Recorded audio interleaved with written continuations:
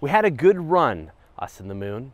Now grab your special edition NASA space tissues because today we're embarking on a tale of orbital companionship, childhood sweethearts, and heartache.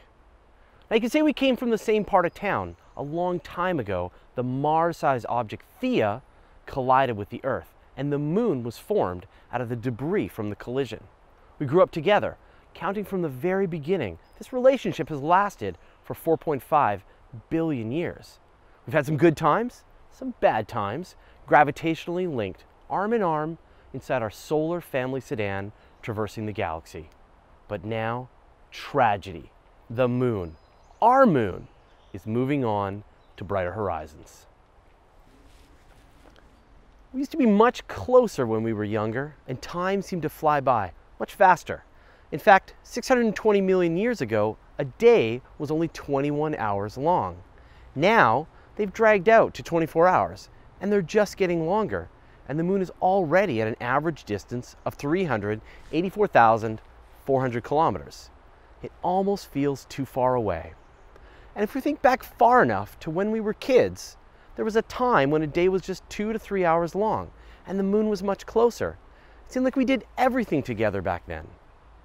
But just like people, massive hunks of rock and materials flying through space change, and the relationships change as well. Our therapist told us it wasn't a good idea to get caught up on minutia, but we've already done some sciencing using the retroreflector experiments placed by Apollo astronauts, and it looks as though the moon has always had one foot out the door. Today, it's drifting away at one to two centimeters per year. Such heartache. We just thought it seemed like the days were longer, but it's not just an emotional effect of seeing our longtime friend leaving us. There's a real physical change happening. Our days are getting one five hundredth of a second longer every century. I can't help but blame myself. If only we knew why. Did the moon find someone new, someone more attractive? Was it that Trollop Venus, the hottest planet in the whole solar system? It's really just a natural progression. It's nature, it's gravity and tidal forces.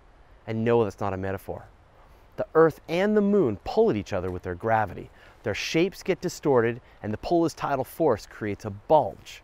The Earth has a bulge facing towards the moon, and the moon has a more significant bulge towards the Earth. These bulges act like handles for gravity, which slows down the rotation. The process allowed the Earth's gravity to slow the moon to a stop billions of years ago. The moon is still working on the Earth to change its ways, but it'll be a long time before we become tidally locked to the moon. The slowing rotation means energy is lost by the Earth. This energy is transferred to the moon, which is speeding up. And as we've talked about in previous episodes, the faster something orbits, the further and further it becomes from the object it's orbiting. So will this ever end? We're so attached. It seems like it'll take forever to figure out whose stuff belongs to who and who gets the dog. Well, fear not. There's an end in sight. 50 billion years from now, 45 billion years after the sun has grown weary of our shenanigans and become a red giant, when the days have slowed to be more than a thousand hours long, the moon will consider itself all moved into its brand new apartment, ready to start its new life. What about the neighbors down the street? How are other orbital relationships faring? I know there's a lot of polymoonamory taking place out there in the solar system. Well, we're not the only ones with moons tidally locked. There's Phobos and Deimos to Mars, and many of the moons of Jupiter and Saturn are. And Pluto and Charon are even tidally locked to each other forever. Now that's real commitment. So in the end, the lesson here is people and planets change. The moon just needs its space, but it still wants to be friends. So what do you think? If you're writing a space opera about the Earth and the moon breakup, what was it that finally came between them? Tell us in the comments below. Thanks for watching. Never miss an episode by clicking subscribe. We couldn't do this without the members of our Patreon community people like David Patillo and many others who join us to help create and deliver great space and astronomy content.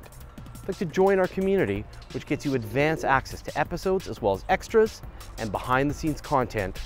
Click here and head on over to Patreon. Tragedy. But now, tragedy. All right. All right. Tragedy okay. More fun. Tragedy is fun. okay, it's the fun of okay. tragedy.